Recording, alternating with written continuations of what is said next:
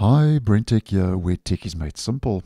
So, back in June last month, I let you know that if you are using the Microsoft Photos app on Windows 11, that the app was going to be getting new viewer and import improvements on Windows 11, very similar to what we get um, over in Microsoft Paint when it comes to zoom functionality and so on.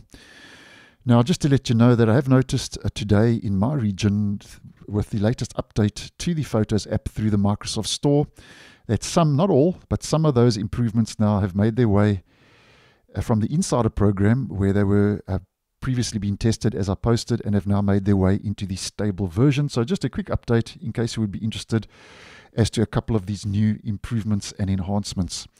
Now, first of all, if we just head over to an individual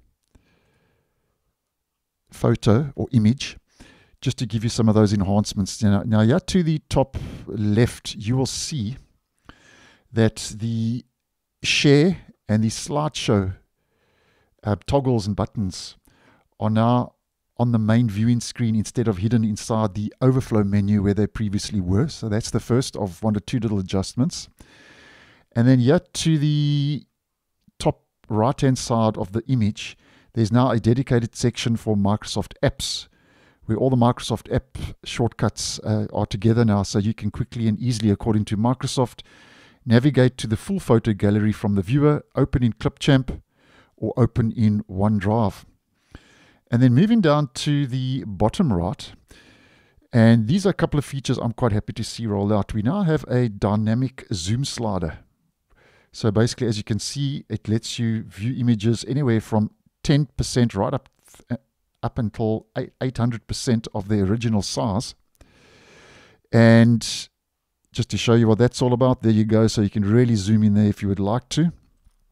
And then, yeah, just to the right of that, we now have a draggable slider. So you can now enable precise adjustments for better photo viewing, according to Microsoft. And I quite like these new additions. And then something else I'm quite happy to see is here to the bottom left, you now can see the size and dimensions of your photos that are now visibly displayed at the screen's lower edge uh, in the actual app.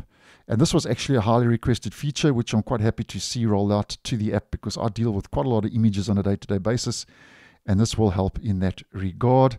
And then something else just to take note of is that Microsoft says that uh, this release also comes, they say, with the new multi-process performance lifts that improve viewer load time by 2.1 times. So um, the app has been struggling um, recently with a couple of performance issues, so this should make things feel a little bit faster and a little bit snappier according to these improvements. And if you want to see what version you need to be on, if you just want to double check if you have this update, to get these features I've spoken about today in this video, you need to be sitting on version 2024.1170.23001.0. So that's the version in bold um, to get these uh, features.